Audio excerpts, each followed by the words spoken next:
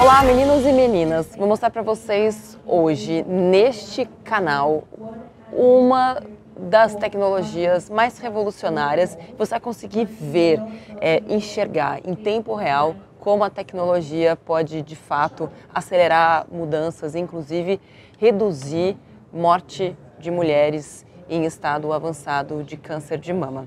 Tenho a honra de receber aqui a doutora e fundadora, CEO e CTO da Dynamai Health Analytics, Dr. Gita, Gita Manjunath. Uh, first of all, I wish we could listen more about your story because it's such a, an inspirational story. Please tell us how did you develop what you're doing, where you came from, etc. Sure. Thank you very much for having me on your show.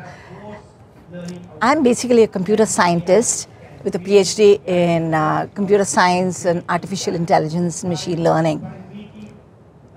I was a principal scientist at Hewlett Packard Labs, and then you know I used to head AI research for Xerox.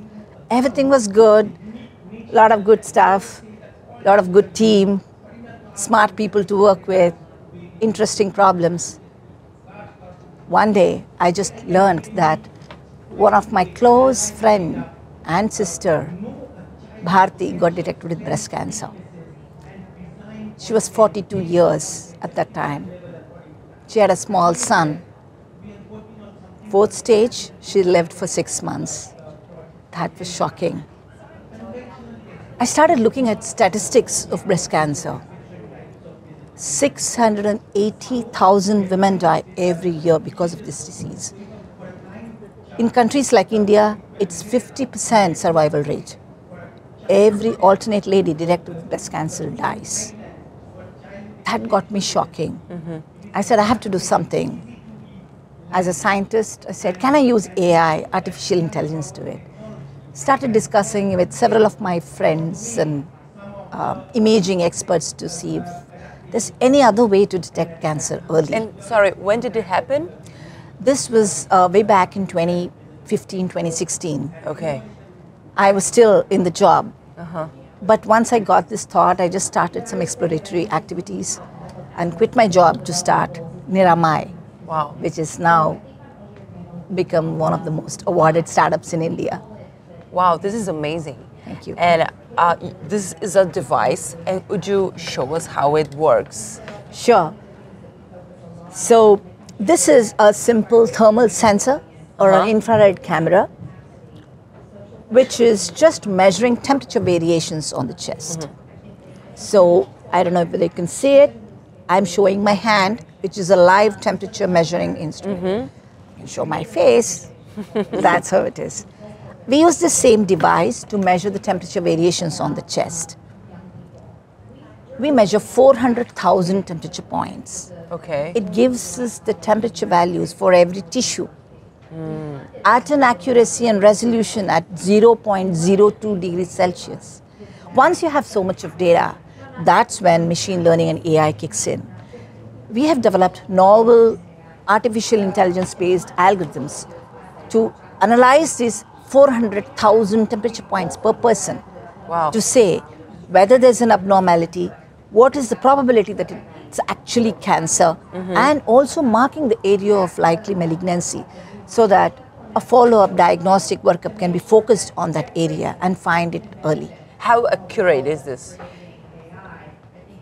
We have done several studies comparing what this says is a suspicious of malignancy or not mm-hmm. with standard of care which includes mammography mm-hmm. and breast ultrasound because mammography doesn't work on dense breasts and women under 45. Mm-hmm. So both these imaging tests. And I'm happy to share that all the cancers detected by both these methods have been detected by our wow. AI model. And I can imagine, I, am can I? Sure. Like looking here, for me it seems pretty, pretty much cheaper than that huge machines in a right. country as mine, Brazil.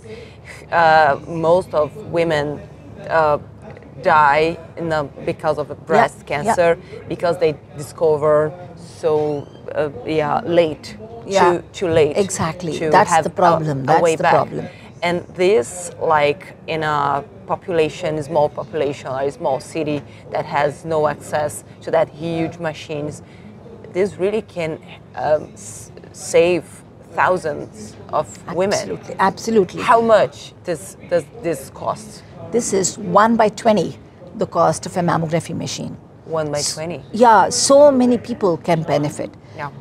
This is a screening device. If mm. somebody is found to be suspicious, then they need to go through all the sort of the MRI, the breast, mm, you know, ultrasound and 3D mammography and all of the detailed tests. Mm-hmm. In countries like Brazil and India, we don't have money to do all of those tests for Yeah. everybody, and everybody need not go through the different hassles of doing those tests. This is a screening test. It identifies those 100 women or 50 women among the 1,000 women screened who need to be brought to a hospital. These women would never ever have gone through any screening otherwise. They don't come to the hospital otherwise. Yeah. They, they can't afford to come to the hospital. It's not accessible to them. Those big machines are not available in the villages. They're not available in every diagnostic center. But this can go. Are you already working with other countries or, for instance, only in India? How is going so far? So during COVID, you know, there was a whole lot of other issues. So Yeah. we focused on international clearances. Now we have a European CE mark as well as a US FDA for one of our devices, which is adjunct right now. And uh, we do have the CE mark, so we are in uh, many countries in Africa as well as Philippines, going to Wow. Malaysia, Indonesia, Indonesia shortly, Nepal, uh, UAE, and we just uh, have a couple of uh, partner discussions happening with Brazil as well. Please come to Brazil. This Sure. save so, so many people's, Sure. so many people lives, so many Glad to partner with anyone interested. Yeah, I will be very, very happy to help. Thank you. Thank you so Thank much, you Nathalia. so much, doctor, for your work. Thank you. I appreciate your decision to quit your job previously to develop such an amazing device. Thank you so much. Thank you so much, Nathalia. Wonderful speaking with you. Thank you. going. Thank you.